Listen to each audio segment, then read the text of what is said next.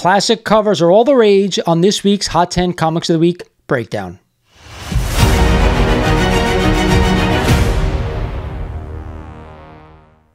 Welcome back to the channel. I am your host, Lawrence over at Mighty Comics and Collectibles, and this is the Hot 10 Comics of the Week breakdown. Now, if you're not familiar with this video, I take the 10 hottest comics according to the Key Collector app, and I break them down for you guys, letting you know which books I'm buying, at which prices, and which I'm staying away from. But before we get started in the video, like every video I ask you guys, if you're not a current sub of the channel, do yourself a favor, hit that sub button, you won't regret it, smash the like button for me, and let's get into this week's breakdown.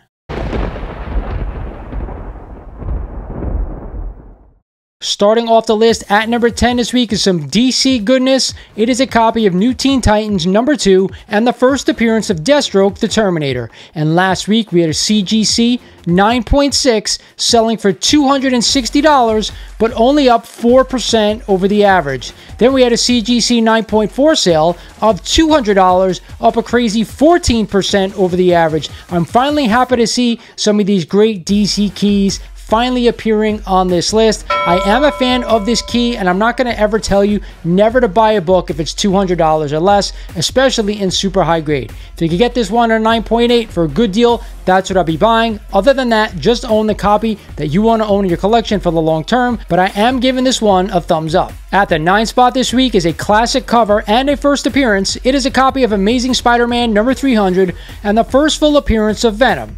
And last week we had a CGC 9.2 selling for $575, up 7% over the average. Then we had a CGC 9.0 sale for $541, up another 12% over the average. You guys know I love classic covers and I love first appearances, but I gotta tell you this there are so many copies of this book out there, you have no idea. Even so, CGC calls this their most graded comic book. With that said, I still want to own this book, and you can find it for a deal because there are so many copies out there. I prefer a 9.2 or better, signed by Todd McFarlane. That is just my preference, but either way, I'm giving this book a thumbs up. Back on the list at number 8 this week is a copy of Superman number 233 and this classic cover by Neal Adams. I'm so happy to also see we're finally getting some Superman books appear on this list, and this to me is one of the better ones, at least when we're talking about covers that are not from the Golden Age. And last week we had a CGC 9.0 selling for a whopping $874, up 27% over the average. Then we had a CGC 6.0 sale of $225, up 38% over the average. Man, this book is starting to heat up, especially with the new Superman movie coming next summer. With that said, it's now the right time to go ahead and buy this book. I've always wanted to own a copy of this book, but I always thought it was too expensive. Now it's just out of control. I'd probably wait till after the movie comes out. If it's great, the bounce may be sustainable. If not, it's going to come back right down to where it was a couple of months ago. Back on the list at number 7 this week is a copy of The Joker number 1 and the first solo title Joker series. And last week we had a CGC 9.8 selling for a crazy $1,660, up 17% over that average. Then we had a CGC 9.0 sale for $250, but get this, up a whopping 40% over the average. That to me is absolutely mind boggling. I know the Joker 2 just came out. And I'm hearing some not great reviews. I want to hear from you out there in the community. Did you enjoy the movie if you saw it or did you not? With that said, I'm not spending $250 on a 9.0 and I'm certainly not spending almost $2,000 on a 9.8. I always tell this story. I found this book about a couple of years back for around $5 at my LCS. So yes, I'm staying away from this one. You can get a better deal. Coming in at number 6 this week is a copy of Incredible Hulk number 340 in this iconic cover by Todd McFarlane. And last week, we had again another CGC 9.8 selling for $1,300, up a crazy 27% over the average.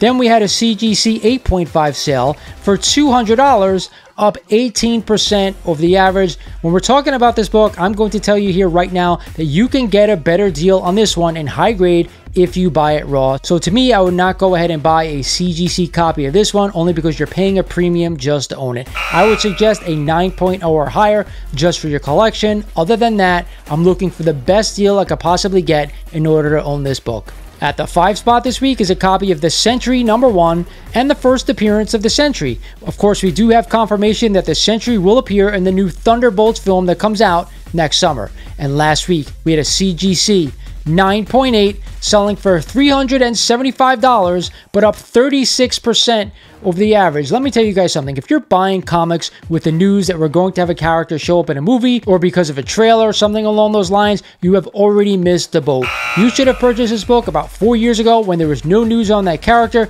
when you had the inkling that this is the way the MCU might go. I'm staying away from this book. I don't like buying modern books when they're up in crazy percentages like this, so for me, I'm definitely staying away from this one. Happy to see this book back at number four this week. It is a copy of Moon Knight number one and the first ongoing Moon Knight titled series. And last week we had a CGC 9.8 selling for $336, up 21% over the average. Now, I don't know about you guys, I do consider this book a classic cover. I've always loved this cover, but believe it or not, if you're going to buy a 9.8 and spend roughly around $350, you can double that and go ahead and get the true first appearance of Moon Knight in comics, Werewolf by Night number 32 in mid to lower grade. I know I always tell you guys that I'd rather buy these Bronze Age first appearance in higher grade, and I'm sticking to that. But when it comes to this, guys, I just want to own the first appearance. I'd rather own own that book than this one, so that's where I'm always going to be putting my money. Swinging into the three spot this week is a copy of Amazing Spider-Man number 252 and the first appearance of the black symbiote costume in the Amazing Spider-Man title. I also consider this book to be a classic cover, homage to death, of course, homage through Amazing Fantasy 15 as well. And last week we had a CGC 9.6 selling for $380, up 5% over the average.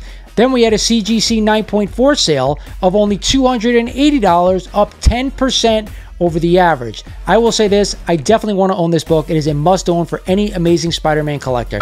With that said, a 9.8 of this book runs roughly around $1,200 to $1,300. So a 9.6 for this amount is not too bad in my opinion. Hell, maybe you could press that shit, get it to a 9.8 so I can understand the value there.